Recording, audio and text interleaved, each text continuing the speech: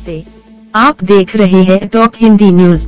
दोस्तों, आइंस्टीन का लिखा, खुशी का नुस्खा 10 करोड़ में बिका।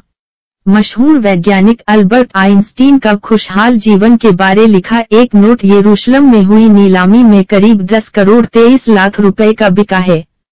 ये नोट आइंस्टीन 1922 में टोक्यो में एक वेटर को बतौरा टिप दिया था। आइंस्टीन को पल भर पहले ही ये बताया गया था कि उन्होंने नोबेल पुरस्कार जीता है। ये संदेश उन तक पहुँचाने वाले को आइंस्टीन ने एक नोट भेंट किया और कहा कि भविष्य में ये कागज़ का टुकड़ा बेशकीमती हो सकता है। उन्होंने अपने नोट में लिखा था कि जीवन में मंजिल हासिल करने के बाद भी खुशी मिल जाए, इसकी कोई गांगटी नहीं है।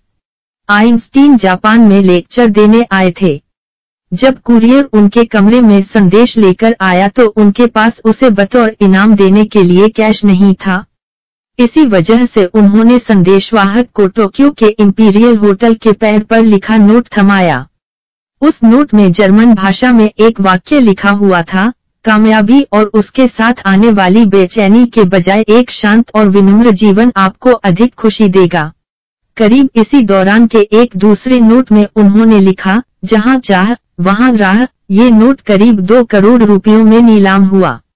नीलामी करने वाली कंपनी ने कहा कि इन दोनों नोट्स की कीमत अनुमान से कहीं अधिक है। कंपनी ने कहा कि नोट का एक खरीदार यूरोपीय है, और वो अपनी पहचान नहीं बताना चाहता।